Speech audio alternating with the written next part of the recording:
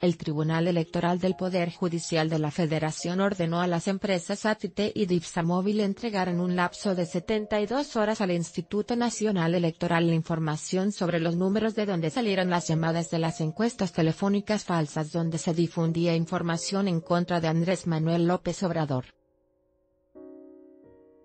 Por votación unánime, los magistrados de la Sala Superior del Tribunal Electoral consideraron que el INE tiene facultades para en amparo de una investigación de carácter electoral, solicitar información a las empresas de telecomunicaciones.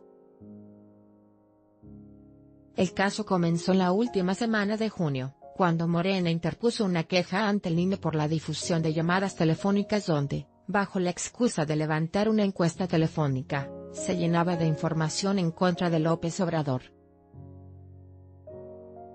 Después de eso, el INE llegó a la conclusión de que sí había una falta por dichas llamadas, por lo que ordenó detener esas llamadas y de paso, comenzar una investigación paralela para determinar quién contrató hacer esas encuestas. Por eso, el instituto recurrió a los operadores telefónicos para encontrar el origen de las llamadas, recibiendo por respuesta una negativa ya que a consideración de ATT y Dipsamóvil la autoridad electoral carece de facultades para solicitar dicha información.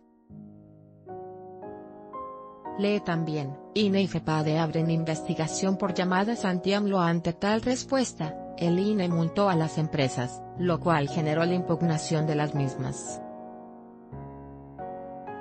La respuesta del tribunal fue que sí debían entregar la información aunque les quitó la multa, no estamos en el supuesto de inviolabilidad de comunicaciones privadas y no se requiere decisión de un juez, si existe base legal y constitucional para que haga el requerimiento correspondiente.